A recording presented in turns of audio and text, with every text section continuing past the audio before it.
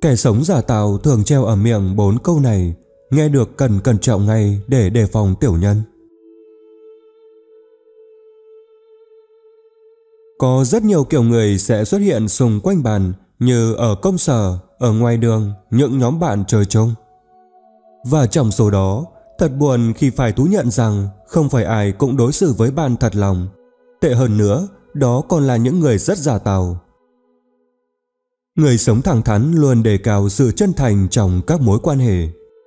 Còn kẻ giả tạo chỉ tìm mọi cách để người khác thích mình mà quên mất rằng đôi khi người ta thà không hoàn hảo còn hơn là sống giả tạo với bất cứ ai. Người xưa có câu vẽ hổ vẽ già nhưng không vẽ được xương, nhìn người nhìn mặt nhưng không nhìn thấy tấm lòng.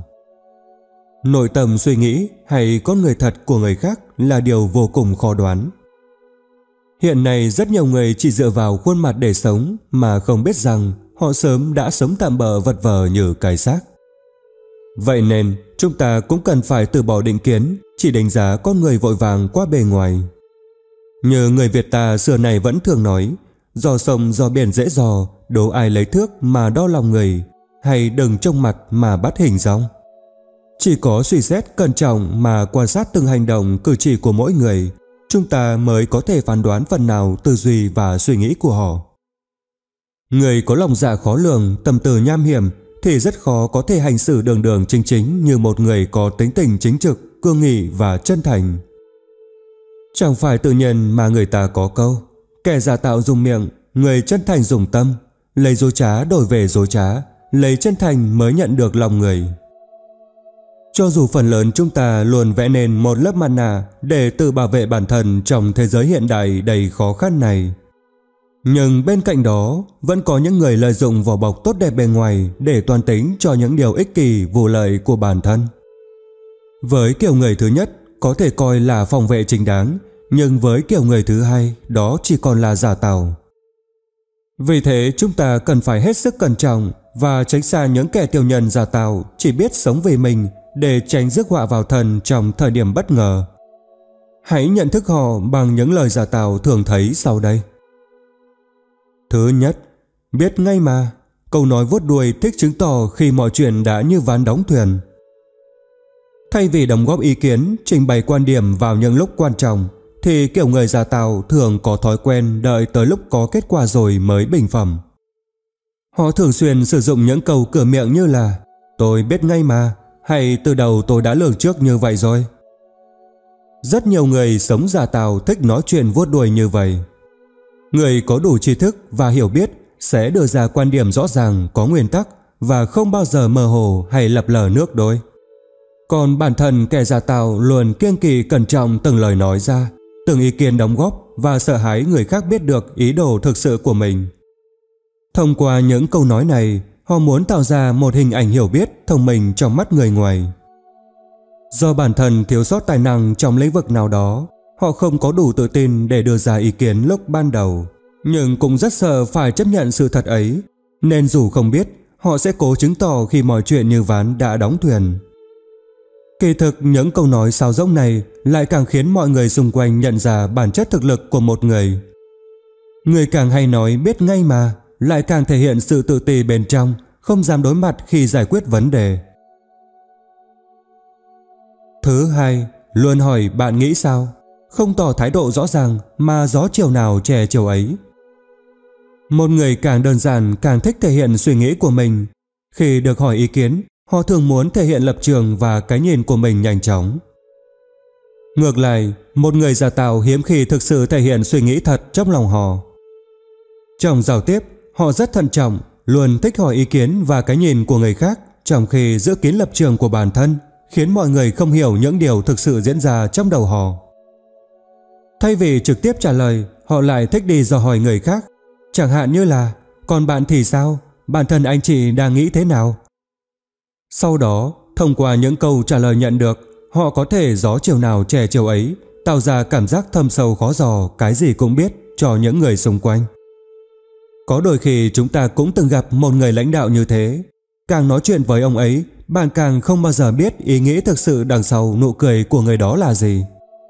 Và sau cuộc đối thoại, ông ấy che giấu mục đích của mình một cách hoàn hảo, nhưng nhìn thấu bản thân chúng ta vô cùng rõ ràng.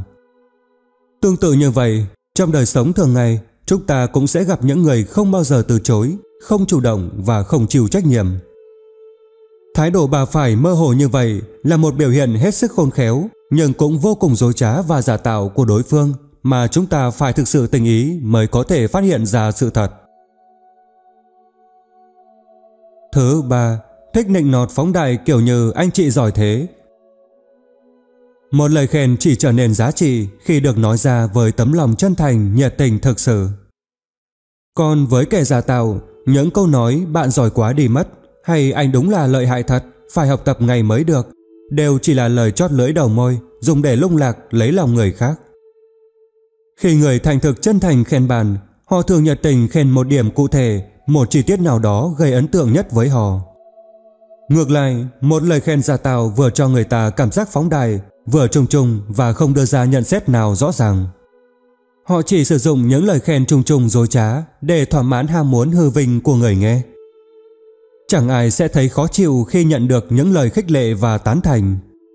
Thông qua phương thức này, họ có thể dễ dàng xâm nhập được vào một vòng quan hệ, lợi dụng nó theo cách mà mình muốn.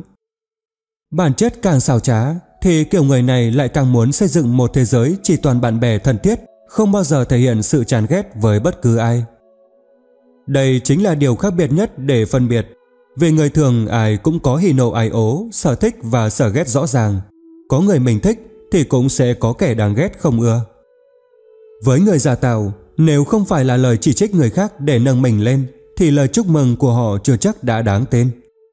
Không hẳn là người đó không thích bạn, không ngưỡng mộ bạn hay phủ nhận năng lực của bạn, chỉ là những người giả tạo hay có thói quen gặp ai cũng khen. Họ thích xây dựng mạng lưới liên lạc xuân sẻ, tràn ngập những điều tích cực và tạo cảm giác mọi người đều là bạn tốt của mình vì hầu như ai cũng thích nghe những lời khen ngợi. Trong vòng tròn xã hội của họ, không có người thích hay người ghét, cũng không đủ chỗ cho các nguyên tắc tồn tại. Vì họ chỉ cho rằng mối quan hệ nên chia ra làm hai loại là có thể lợi dụng hay không mà thôi. Thứ tư, lời nói và suy nghĩ chưa chắc đã nhất quán. Có một chân lý thế này, con người ta càng sợ cái gì thì lại càng muốn thể hiện cái đó. Đây cũng là cách nói chuyện kinh điển của những người giả tạo dùng lời nói che giấu mục đích thực sự và cố gắng đạt đến hiệu quả mình mong muốn. Người giả tạo luôn che đậy nội tâm của mình, họ chỉ nói những lời nói mà người nghe muốn nghe, chứ thật tâm không nói những điều mình đang suy nghĩ. Người ta càng sợ điều gì, càng che giấu điều đó đi. Câu cửa miệng, nói thật nhé, tôi nói thật đấy, tôi nói thật lòng, thực ra chỉ là những câu nói giúp họ gia tăng sự tin tưởng. Nói thật nhé, thực ra là một câu nói khẩu thị tầm phê điển hình.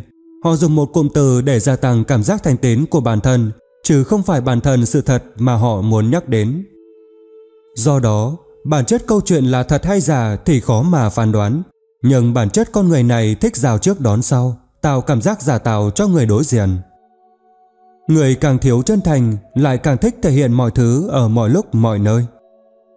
Thay vì để những người thực sự khôn ngoan nhận ra bản chất thật nếu muốn được người khác thực sự tin phục, bạn nên đối xử với mọi người xung quanh bằng sự chân thành và tin tưởng toàn vẹn. Cho dù không được tất cả yêu thích, không có mạng lưới quan hệ rộng khắp, quen biết hết thảy mọi người, chúng ta vẫn tìm được những người bạn bè thật sự có thể chân thành chia sẻ, chân thành quan tâm và giúp đỡ lẫn nhau. Đây mới là mối quan hệ cao cấp mà người trưởng thành cần hướng tới, chứ không phải sự giá rào hời hợt, không có chút giá trị nào lại càng không phải sự lợi dụng hướng tới những mục đích từ lợi cá nhân. Và xin cảm ơn tất cả quý vị và các bạn đã lắng nghe.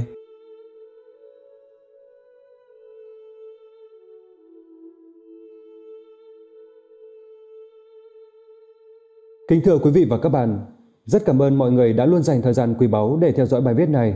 Hãy để lại lời bình luận dưới mỗi bài viết mà các bạn cảm thấy tâm đắc nhất và những lời khuyên của các bạn sẽ giúp mình không ngừng hoàn thiện và phát triển hơn nữa. Nếu các bạn thấy bài viết này thực sự mang lại giá trị, hãy chia sẻ tới người thân và bạn bè của các bạn để có thể lan tỏa những giá trị tốt đẹp tới mọi người. Và hãy thường xuyên ghé thăm kênh của mình để đón xem những video mới nhất các bạn nhé. Và hẹn gặp lại quý vị và các bạn trong các bài viết tiếp theo.